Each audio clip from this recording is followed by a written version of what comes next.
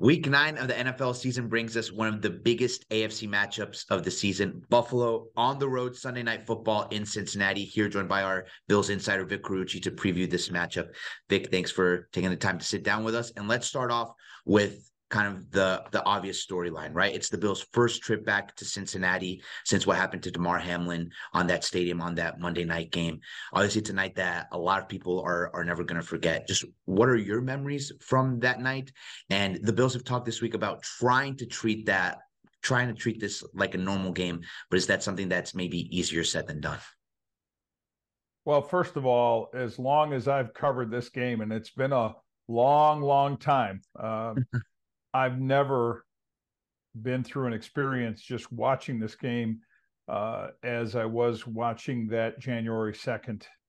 Uh, really nightmare. I mean, it it changed a lot of perspective in terms of going from watching a game and having your mind in a place of watching a football game to then uh, a life and death crisis situation where football became so secondary. At at some point, the fact that a game was even attempted to be played and and you know even thinking about it being continued. I mean all of those thoughts were gone. The entire night after that hamlin situation was all about him and and the fears uh, and then the reactions you know just seeing uh, those lasting lingering images that are burned into your brain of uh, of josh allen kind of holding both of his cheeks and uh, Tre'Davious White's head buried in the chest of Mitch Morse uh, and and everybody, uh, Sean McDermott. I mean, you looked at that game, whether you were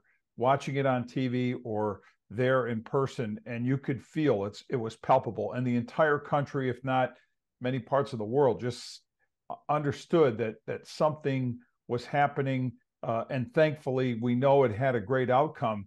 But I, I think the best part of what was a near tragedy is is what it resulted in in terms of awareness for CPR training, for having AEDs available at places where they weren't before.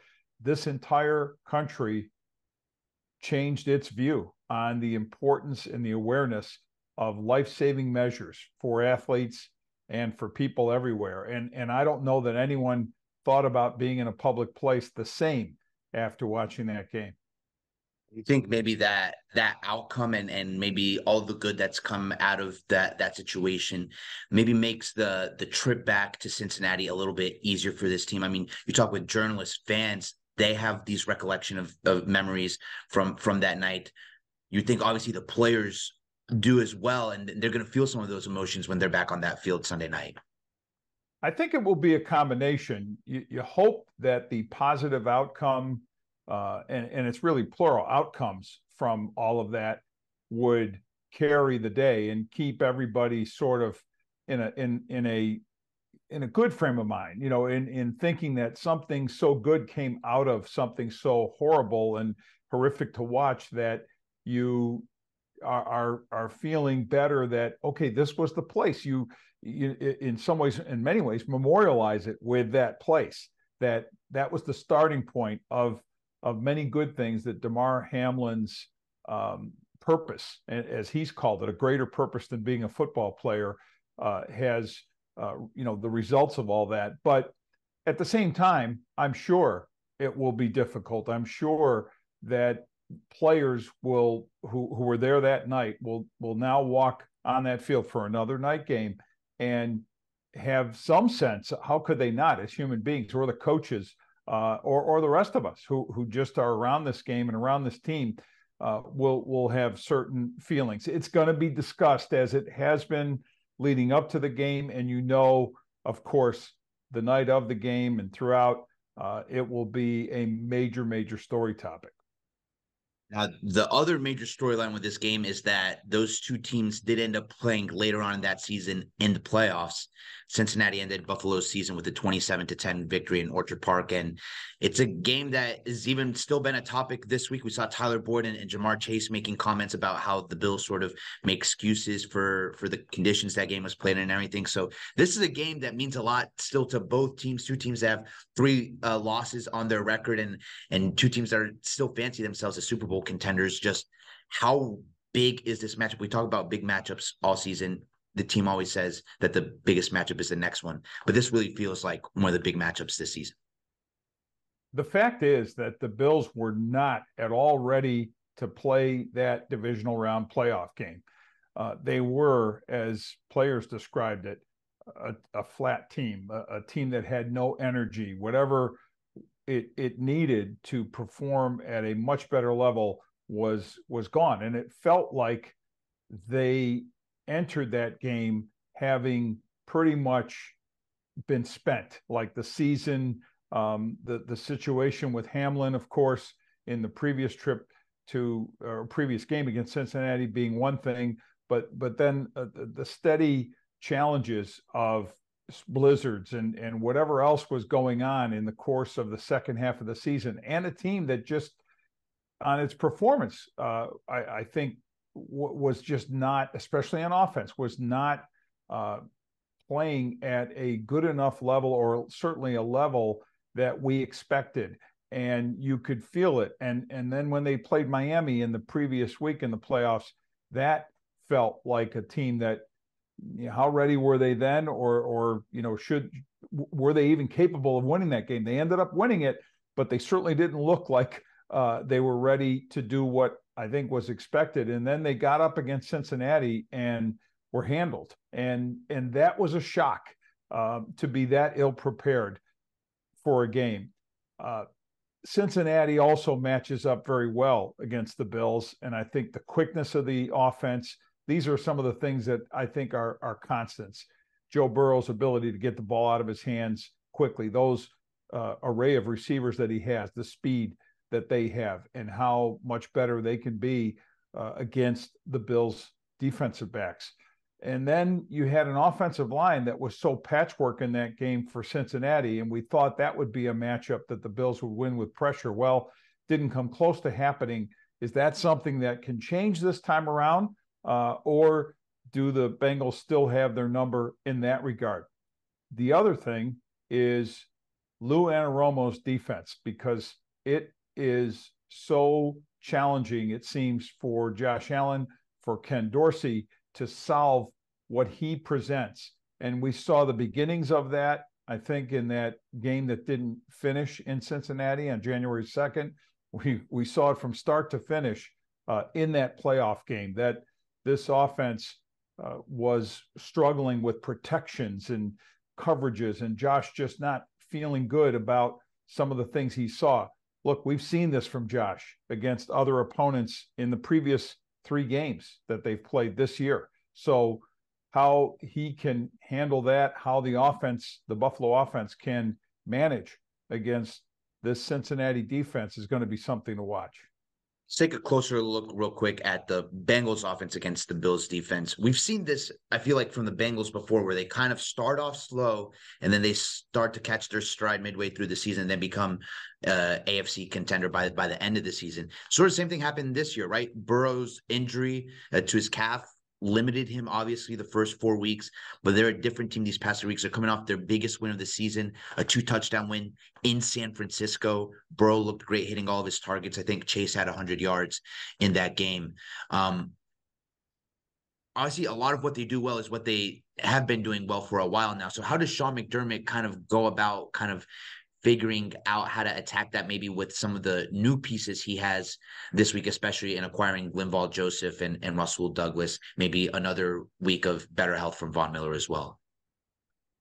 I think it starts with Joe Burrow and how well he is able to not only physically play, get the ball out of his hand quickly, accurately, how he can position himself, move around to make the plays that he needs. He's not a, a super mobile guy, but but athletically he's really good, and his command is so strong. You're seeing a quarterback as he has gotten healthier from that calf injury. His performance has just incrementally grown to the the level that was expected that got him the contract to make him the highest paid player in the league. And I think when you see how he's played, you wonder is there really anything defensively that can be done to not only stop him, but slow him down uh, because I think that's the best. San Francisco has a really good defense, and he solved that defense quickly and immediately. I mean, he he was on point and and had no problem whatsoever against one of the better pass rushing teams, one of the more physical defenses, uh, really good in coverage, and give Zac Taylor, the coach of the Bengals, credit as well for putting together a scheme uh, that has allowed uh, Joe Burrow to consistently play better than I think we've seen we've seen him play prior to that injury.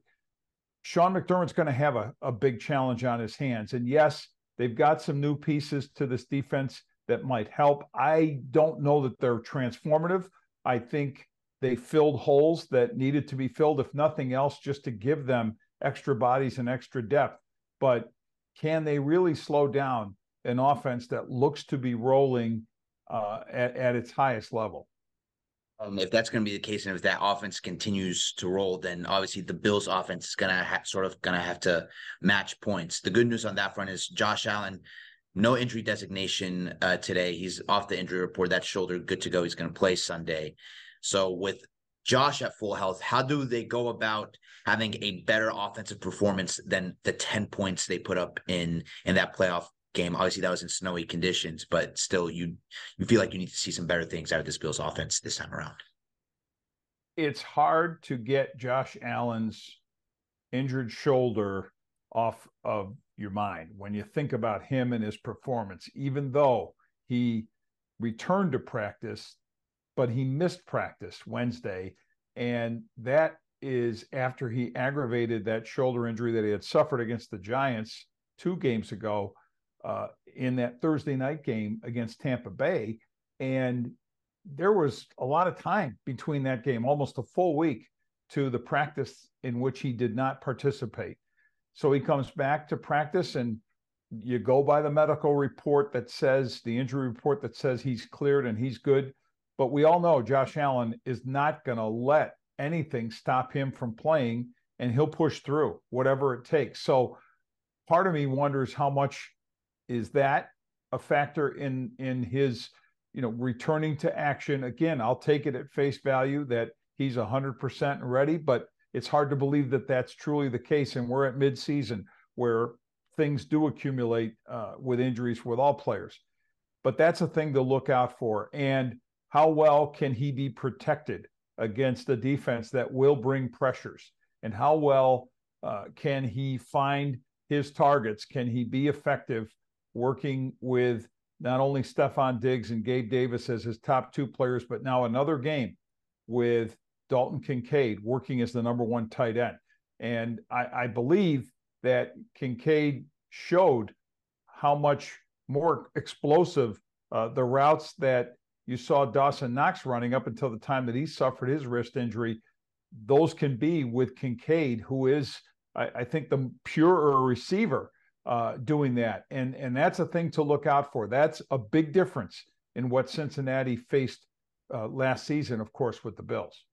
I think you'd feel a little bit different about this game if this game was the one that came right after the Patriots game, because it seemed like Buffalo, with some tweaks, more 11 personnel, more of a up tempo approach on offense, found something in that game against the Bucs on Thursday night. Is that something that can carry over to this game against Cincinnati, or is it something that requires a different game plan because of what the Bengals present on defense?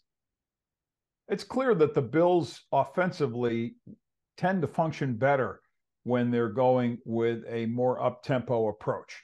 I think there is a natural fit and feel uh, for Josh Allen, for his targets, for the O line, for everything uh, to move at that quicker pace. But it's one thing to do that, I think, against a bit of a bigger and slower Tampa Bay defense than a more explosive, athletic defense that the Bengals have. And once again, you have uh, in in Lou Anarumo, their defensive coordinator, somebody who you know is has taken a thorough look at how the Bills exploited the Buccaneers defense with that scheme and has thought about and certainly tried to devise answers uh, that we'll see how they show up on the field. But I do think the Bills need to get that fast start and absolutely cannot have another of these games, which we've seen more recently, where they're not coming away with a lot of touchdowns in the first half. You're going to have to match touchdowns, I think, to have a chance to beat the Bengals. Close game, you know, a lot of people could see it field goal either way. You know, two two teams that, like I like I said, are are considered Super Bowl contenders in, in the AFC. Generally, these tight matchups, there's one or two things that separate them. When you look at this game and, and when you think ahead to where you're going to see Sunday night, what's an X factor for you that you think will make or break this game either way? I think it starts with the run game. Uh, all the focus on these two quarterbacks is obvious, but who's going to run the ball better? Because that balance, I think, will have a lot to do with opening up other things offensively. So if we look at the Bills, if Leonard Fournette is dressed and ready to be a part of this offense, you know, giving him that, giving them that power, short yardage back uh, that they were lacking, and as much as anything else, he is the Damien Harris replacement. Uh, he's also a guy who's been available for a long time. So it's not like uh, the league looked out there and said, yep, he's a great answer for us, or else he would be employed by now. So his availability uh, should tell you something about him. It doesn't mean he can't help, but it'll be interesting to see how much he does and how much uh, the rest of the offense responds in that regard. James Cook uh, has to have some big plays. The O line has to open some things up for him. We cannot see a an offense that is just one dimensional, uh, or else that Bengal pass rush tees off, and then flip it over Joe Mixon uh, and that Bengal running game. Can they have success? Can they keep uh, the Bills' pass rush off balance and all that Sean McDermott wants to do with an aggressive scheme? A lot of that if not all of that, can be neutralized if they are not handling the Bengals run game. Ready, Vic. Great breakdown. Obviously, looking forward to what we hope is a great game Sunday night, Sunday night football right here on Channel 2. And we'll have extended post game coverage right after that, right here on Channel 2 as well. Vic, thank you so much for joining us, and we'll talk to you next time. Always a pleasure, Jonathan.